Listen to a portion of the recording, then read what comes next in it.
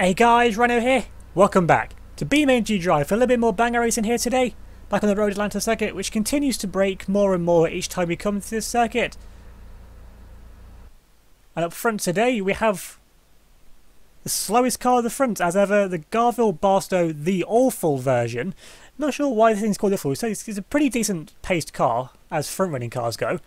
And in second place, we have a new car, ever since one of the last updates to Beam, the game broke a little bit, so some cars don't actually exist anymore. So in second place, we have an SBR4 base version, rear-wheel drive. In third, in the vibrant, like neon kind of purple, we have the car that needs to win this round. And this car is the Soliad Wendover Sport SE 4400 V8 facelift. Yep, I had to have a lot written down next to me. But yeah, it's going to be calling it the Wendover, and then we have one of the another new car for this round. A car that was previously further up. It's still this is the new version of the Bolide. This is what the Bolide has become pretty much, more like a classic like group group kind of car. In fourth place, at the back, we have a drag beast. You haven't seen one them for a while. We've got the Burnside Drag Ute. So it's, it's all one unit. The brakes aren't the best, but they do work a lot better than most other drag cars. So to get all the cars now set off, each car spawns with a with a rating of 0.3 on the risk factor. I'll hold it down to get as close as 0.9 as I can, 0.69 as I can. Sometimes it's a little bit over, sometimes it's a little bit under, like here. Uh, from now, the first big contact's been made. The SBR, which has a lot of acceleration, surprisingly, for a second place car, is taking the uh, the one is taking its time to catch up.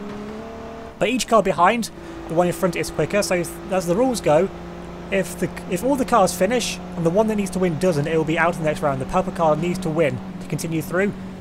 Any cars also DNF will be out or get lapped will also be out. It's all about trying to finish, it's all about track position in this series, and of course the mighty, mighty crashes that go along with it. I mean, let's get the first one right now, it's more of a spin than a crash. The uh, the awful's been sent completely off the road there, and there's going to be, I'm going to slow that down, because I think there's going to be heavy contact here. Get things slowed down between the now second and third place cars.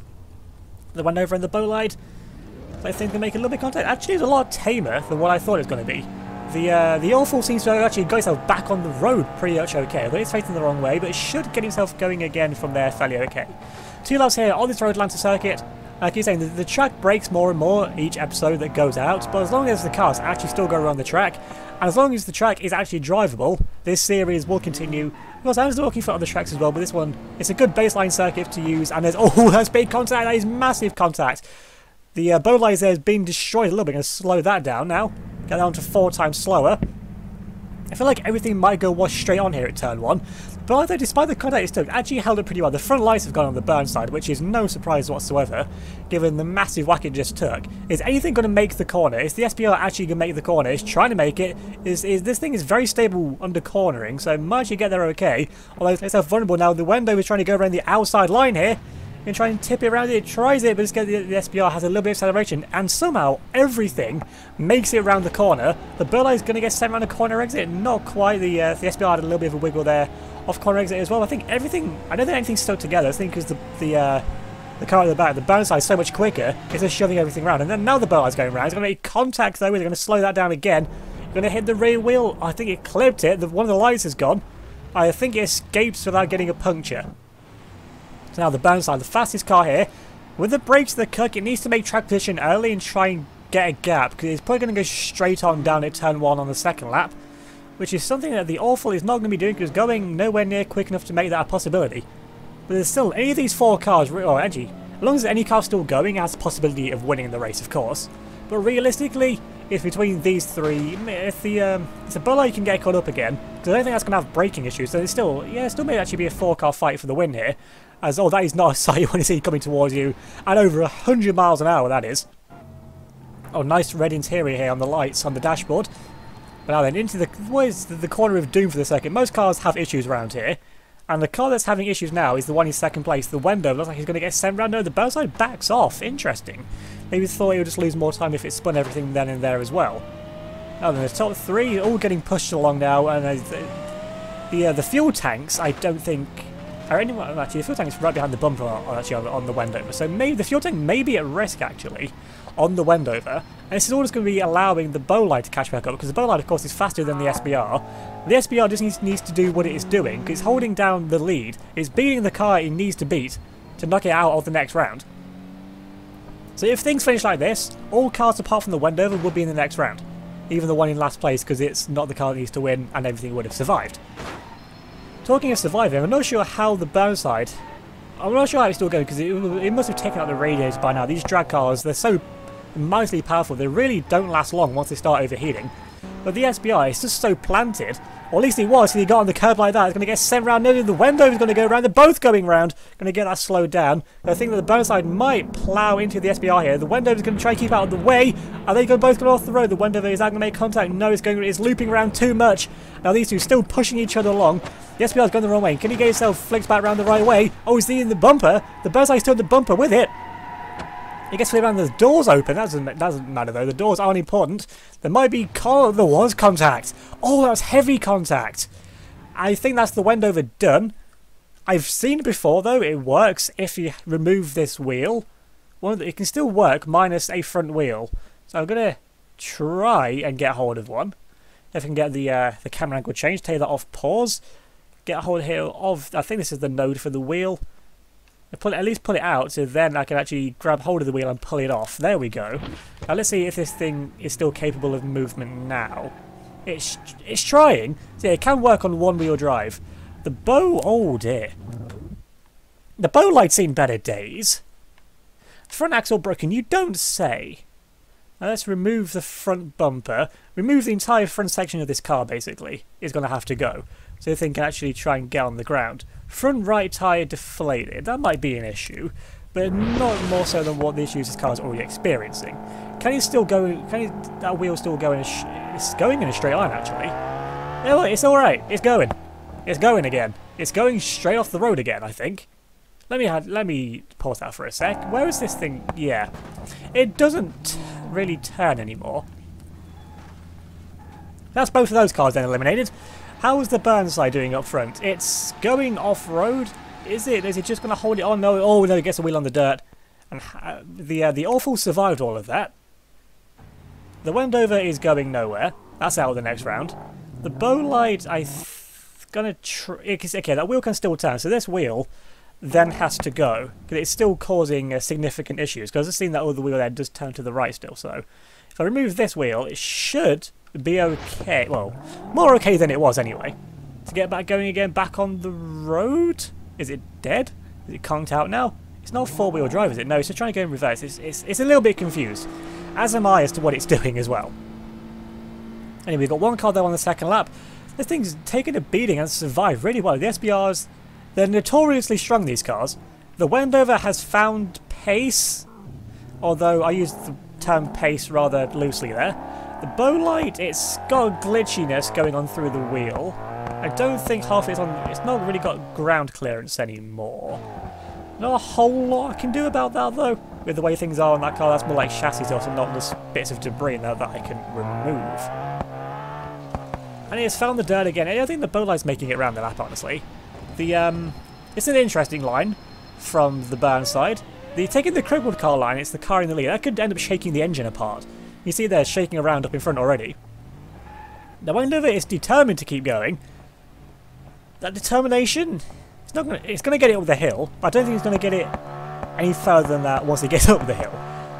The Bolide is stuck, so I will put that then onto disabled. Have a quick look back up front and see how the Burnside is going to get stopped for turn 1. If indeed it does actually get stopped for turn 1, which it really doesn't. It's gone straight on through the gravel, which actually does a good job of slowing it down. And it's going to be wary now of the SBR catching up. The Wendover's actually managed to break itself free, finally. And I'm going to have to lift the Bolide now out of the uh, the sand trap. Just by, uh, I would say by yanking on bits of it. I mean, it's pretty much had it anyway at this point. Should be able to get Golf going again from there. Turn the engine back on. Is it going to do anything from then? Doesn't look like it is. I think it may be out now. Burnside gets itself going again really rather quickly. And it's, well, it, it did build up that lead that it needed to. The Wendover is taking the extreme uh, offline line. Bolide, I'm not sure what it's doing. I put that then onto disabled, get it flipped back round, and hopefully it tries to go in something resembling the correct direction. Yeah, I need to try and remove some more of that debris if I can. Because this one, this one wheel's not having... I know that wheel is punctured as well, so... Yeah, it's not having a fun time. I'm to put that down back onto random. Have a quick look at everything else, how that's going. Seems to be all going alright. Put back onto real time. Then slow it down to 100 times slower. And try and get hold of something to yank off. Uh, maybe this. That can... Well, it, it can be moved anyway, if not removed. I think this is about the best I can do with yanking stuff off there. Now get a bit more... There we go. Now we've got some ground clearance on that wheel. Might actually be able to go somewhere now. Still not quite sure what the Burnside is doing being over this side of the road, though. You're putting all his wheels on the dirt, and, he, and you can't stop on the dirt at the best of times. Try and take a really wide line in, which you're going to carry the weight all the way around the outside line. And he goes off him once again. He's going to head towards the wall. Now I think he's going to get started. Is he going to flip, though? Is he going to roll? Not quite. Thought about it, though. Now he's off the road again. How far behind is the SBR? Not too far behind, so the Burnside is going to need to get yourself going again and going again quickly. And, oh, that was a massive hit for the Bolide. Something else has fallen off, not too surprising. Now then, Burnside, how are you going to get going again from here? I think, has the suspension collapsed on that side? Must this be the way the front is bent down, maybe? Has the SBR gone through? No, it's still so far behind. There's thing where you can't really see it anymore from certain angles. Still trying to get yourself going again. I commend this thing for working on one wheel. But I think its, its time is definitely going to be up fairly soon. The Bolide is... That's out. There's no way I can get that out of the wall. Even if I tried lifting it over, I don't think it would really work. I mean, the Wendover's so I might as well give it a go, see if I can lift this thing out of the wall. Actually, I can. Good to know for future. Not that anything's crashed over there before. That thing drop back down. And now, can it get back going again? Get, get, get yourself onto the second lap to give yourself any chance of getting through into the next round. It's basically he's just got to get onto the second lap. First of all, obviously he's got to complete it as well. But he can't finish the race if he never even gets onto the second lap to start with. Up front, things still seem fairly, well, fairly chill for how this round's gone. The chaos has been going all the way through. This thing has got lost suspension wobble. So something collapsed, and I think it's the off-road suspension in general, how it's being. Is it going to get past the Wendover? Oh, it clips the side of it! That could be detrimental. But I think it's gone away with it. I think it did more damage to the Wendover, actually. It took off the, the uh, remaining wheel on the Wendover. Oh, it has! Uh, that's just insult to injury. The Wendover is completely immobilised now. The Bolide, is it going to make it around the final corner? Uh, not really. It was making it until it decided that it wasn't going to make it. Might just be pulling off now, accepting its fate. Oh, what's happened here?